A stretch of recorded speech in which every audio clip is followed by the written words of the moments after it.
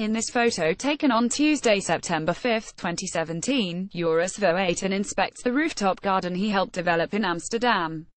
Voeten, an urban engineer in Amsterdam has unveiled a new kind of rooftop garden that he says can store more water than existing roofs and feed it to plants growing on shallow beds of soil. App photo Michael C. Corder standing between raised beds of plants on top of a former naval hospital. Joris Voeten can look across to the garden, cafe and terrace that decorate the sloping roof of Amsterdam's Nemo Science Museum. Such productivity is part of the urban engineer's vision for cities worldwide, places where he sees the largely neglected flat tops of buildings doing more than keeping out weather and housing satellite dishes.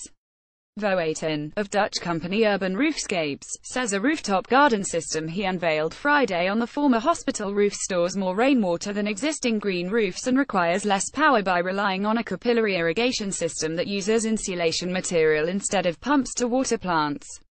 You can relax here, you can have meetings here. You could operate a restaurant on your rooftop garden to make it more economically beneficial, Voeten told the Associated Press ahead of the official presentation.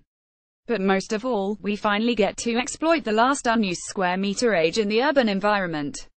Roofs that are adapted so plants can grow on them produce a cooling effect on buildings and the air immediately above them in two ways. The plants reflect heat instead of absorbing it the way traditional roofing sheets do. They also reduce heat by evaporating water. Voeten said readings taken on a very hot day showed a temperature difference of up to 40 degrees Celsius 72 degrees Fahrenheit between his hospital garden above the banks of a busy waterway compared with a roof covered in black bitumen. In this photo taken on Tuesday, September 5, 2017, Joris Voeten shows people around the rooftop garden he helped develop in Amsterdam. Voeten, an urban engineer in Amsterdam has unveiled a new kind of rooftop garden that he says can store more water than existing roofs and feed it to plants growing on shallow beds of soil.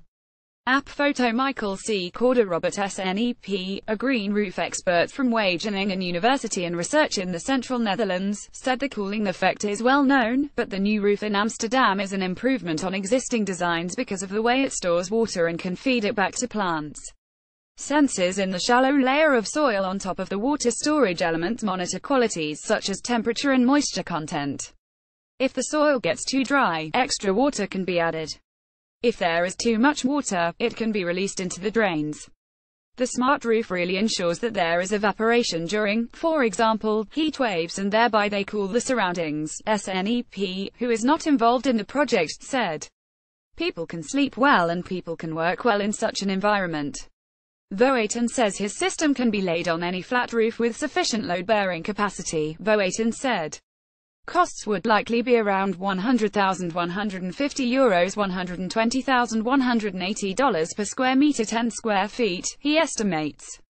Amsterdam, a city built around water and its World Heritage listed canals, is keen to have its residents turn their rooftops into gardens where possible.